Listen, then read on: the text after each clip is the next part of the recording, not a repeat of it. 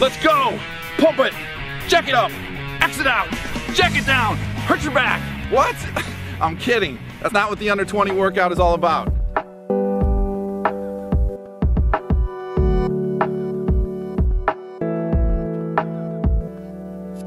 I'm Justin O'Connor, creator of the Under 20 workout. Been training my whole life. Played for the Detroit Junior Red Wings, also played two Division One college sports. Born and raised in Bowling Green, Ohio. A lot of people have been asking what the workout looks like. Can I do it? There's a fear that you can't do it. 99% of you can. We're gonna show you a few exercises during this video here so you can get a feel for exactly what we're doing. Then I'm gonna talk to you a little bit about why I created Under 20 workout.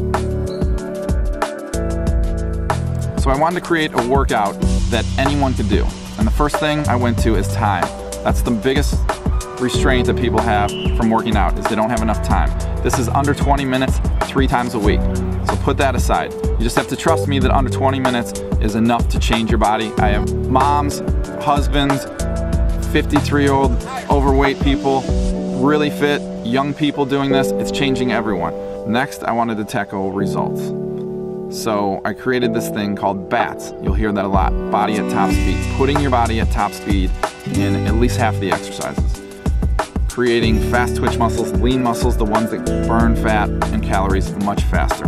And the results were so great for me, I started teaching a class here in LA. The results there were amazing. So I started making videos for my friends at home and family that were in North Carolina, Ohio, Chicago.